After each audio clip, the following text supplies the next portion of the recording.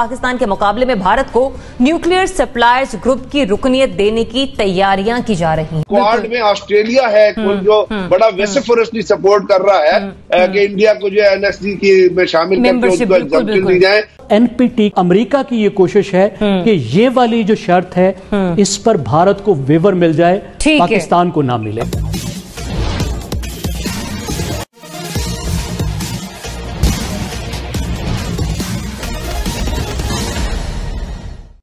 पाकिस्तान की मीडिया में यह चर्चा हो रही है कि भारत को एनएसजी न्यूक्लियर सप्लायर ग्रुप की सदस्यता जल्द ही मिलने वाली है, जबकि भारत उसके सदस्यता से संबंधित मापदंडों को पूरा भी नहीं करता है। आपको यह बताते चलें कि एनएसजी एक 48 देशों की संस्था है, जिसका काम न्यूक्लियर एक्सपोर्ट एंड इंपोर्ट को नियंत्रित रखना है, तथा उसका काम यह भी देखना है कि कोई देश अवैध रूप से न्यूक्लियर हथियार न बनाए।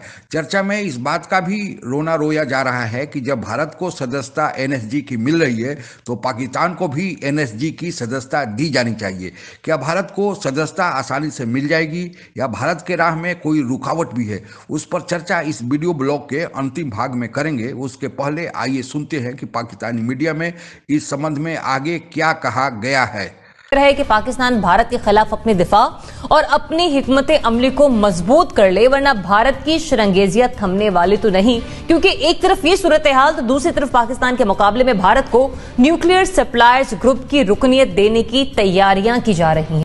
पूरे का पूरा जो ग्रुप वजूद में आया था 1974 में, 74 में। ये ये आया ही इंडियन एक्सप्लोजन इंडियन एक्सप्लोजन की वजह से था।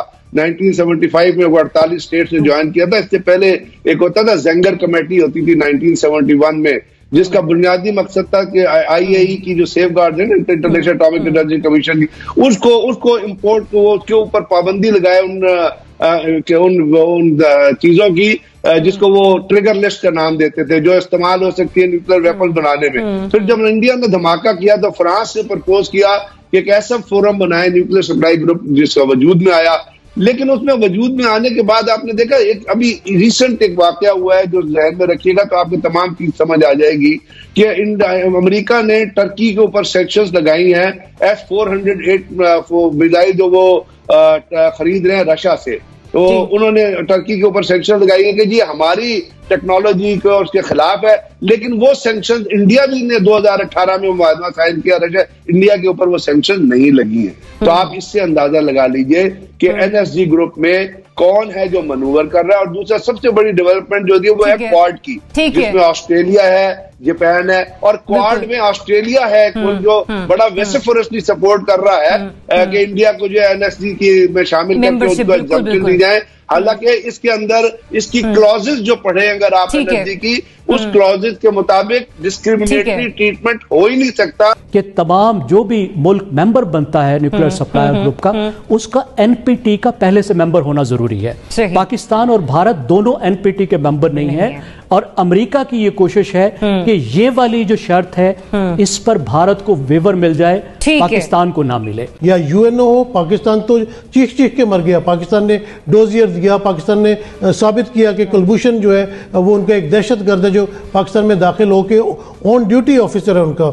और उसने यहाँ पे धमाके किए बहुत कुछ किया। लेकिन दुनिया के कान पे जो है ना जू भी नहीं रेंग इस मामले में क्योंकि बात वही मोना ने जो की थी कि इकोनॉमिक इंटरेस्ट जो है इकोनॉमिक इंटरेस्ट दुनिया के बहुत ज़्यादा है और एक बहुत बड़ी अपना इंडिया मुल्क है तो उनकी नज़रें उनकी इकोनॉमिक्स एक्टिविटीज़ पे लगी रहती है। इकोनॉमिकली पॉइंट ऑफ़ व्यू से लेकर देखा जाए तो इस वक्त चाइना जो है, वो भी एक उभरती हुई स्टेट है। साथ ही साथ इंडिया भी बहुत बूमिंग और ब्लूमिंग लेकिन यहाँ पर चैलेंज जो है, वो मिलिटरली नहीं है, जैसे कि जगम साहब ने भी फरमाया, हमें इकोनॉमिकली पॉइंट ऑफ़ व्यू से और डिप्लोमेसी को अपनी बहुत बेहतर करने की ज़रूरत है। सिर्फ़ यही वो दो ऐसे तरीके हैं कि जिससे हम भारत की जो जंगे हैं या भारत की जो पाकिस्तान मुखालिफ सरगर्मी है, उन्हें बेहतर तरीके से काम रखें आप लोगों को जानकर यह आश्चर्य होगा कि जब 1974 में भारत ने पहला परमाणु परीक्षण किया था, उसके परिणाम स्वरूप एनएसजी, न्यूक्लियर सप्लायर ग्रुप का जन्म हुआ था।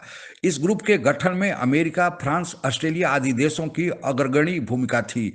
भारत पर उस परीक्षण के परिणाम स्वरूप प्रतिबंध भी लगाए गए थे, लेकिन आज स्थिति यह है कि भारत से प्रतिबंध भी हटा लिया गया और यही देश जिनकी भूमिका इस ग्रुप के गठन में अग्रणी थी, वे अब भारत को इसकी सदस्यता दिलवाने की पुरजोर कोशिश कर रहे हैं। एनएससी की सदस्यता देने के संबंधित प्रस्ताव पहली बार नवंबर 2010 में सामने आया, जब अमेरिका के राष्ट्रपति बराक ओबामा भारत आए थे और उन्होंने यह प्रस्ताव दिया था। और उसके बाद उसी साल दिसंबर में जब फ्रांस के राष्ट्रपति भारत आए तो उन्होंने इसका और समर्थन किया। इसके बाद अन्य देशों ने भी भारत का समर्थन करना शुरू कर दिया। परंतु चीन द्वारा शुरू से ही भारत का विरोध किया जा रहा है। चीन का यह कहना है कि भारत जब तक एनपीटी पर हस्ताक्षर नहीं करता, तब तक भारत को एनएसजी की सदस्यता नहीं दी जानी चाहिए। ज्ञात है कि भारत ने अभी तक एनपीटी पर हस्ताक्षर नहीं किए हैं। आपको यह बताते चलें कि NPT, treaty of the non proliferation of nuclear weapons का एक यूएनओ के अंतर्गत काम करने वाली संस्था है, जिसका जन्म 1970 में हुआ था। जिसका काम यह देखना है कि न्यूक्लियर आर्म्स और न्यूक्लियर टेक्नोलॉजी पर नियंत्रण रखा जाए और उसके अवैध तरीके से इसका निर्माण और प्रसार न हो, इस पर भी नज़र रखी जाए। इस प्रकार एनपीटी का मुख्य उद्देश्य यह था कि सदस्य देश न्यूक्लियर पावर का उपयोग शांतिपूर्ण कार्य के लिए करें तथा इससे अवैध तरीके से कोई हथियार न बनाए। पर इस एनपीटी के प्रतिबंध से पाँच देशों को बाहर रखा गया है, जिन्हें न्यूक्लियर वेपन स्टेट्स कहते हैं। इन देशों में अमेरिका, चीन रसिया फ्रांस और यूके शामिल है। 1970 में जब एनपीटी का जन्म हुआ था, उसके पहले ही ये पाँचों देश हथियार बना चुके थे, इसलिए इन्हें उस प्रतिबंध के दायरे से बाहर रखा गया है। लेकिन विडम्बना यह है कि उसके बाद भी 1970 के बाद भी ये देश लगातार हथियार बनाते जा रहे हैं। भारत का विरोध इस इसी ग्राउंड पर है कि ठीक है, पहले अगर उन्होंने हथियार बना लिया तो उतना बना के रखें, लेकिन अब 1970 के बाद एनपीटी लागू हो गया तो हथियार न बनाए।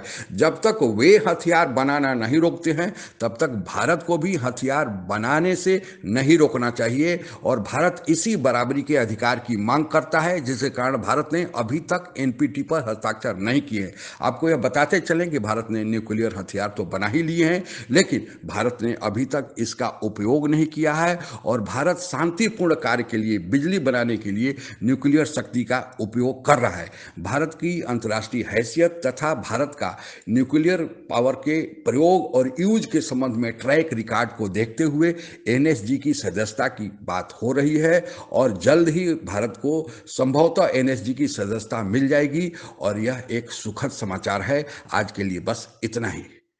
आप अगर हमसे जुड़ा रहना चाहते हैं तो कृपया मेरे चैनल को सब्सक्राइब करें तथा बेल आइकन भी दबा दें ताकि नई वीडियो की जानकारी तुरंत आप तक पहुँच जाए। धन्यवाद। जय हिंद।